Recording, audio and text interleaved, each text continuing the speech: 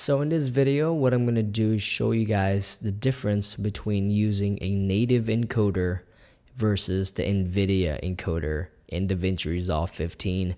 You can render much faster when using the NVIDIA GPU and I'm going to show you that right now. So we're here in a delivery tab. What we're going to do is just go through this.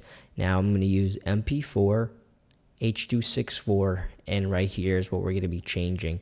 We're going to do native first and then we'll switch over to NVIDIA. We have a 4K DCI file, 24 frames per second. We're going to go restrict to, we'll do 48, 1, 2, 3, 48,000 because this is going straight to YouTube. Coding profile, we're going to go high, scroll down. We're going to do every 12 frames. We're to click video because this is Rec 709 and that's pretty much it. Going to go to audio, make sure everything's good. I usually do 128 for straight to YouTube. And then we're to do main stereo 1. So let's go ahead and render this. This is to be native. All right, and it's to go straight to my desktop. Let's go ahead and render. Start render.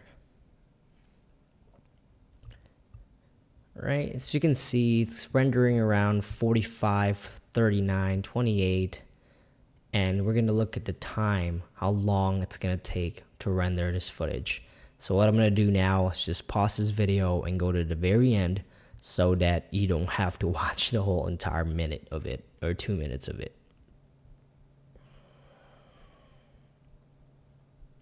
Alright guys, so now we're back. Uh, so you can see it took 3 minutes and 17 seconds when using the native encoder in DaVinci Resolve. So let's go ahead and clear this here. And then now what we're going to do is I'm going to show you what happens whenever I switch this over to NVIDIA. Same exact settings. We're not going to change anything else. We're going to change the file name so it doesn't overwrite it. This is NVIDIA. Okay, start render. And let's go ahead and check this out.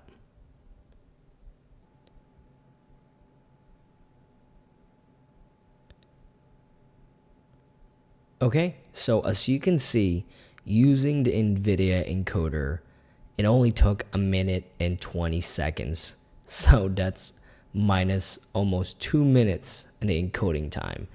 That's pretty insane, guys to me at least. I don't know. You guys might have a, a better setup than I do, but what I have is just a Ryzen 16 core and then a NVIDIA GTX 1080 Ti, which is actually it's not the greatest and latest anymore.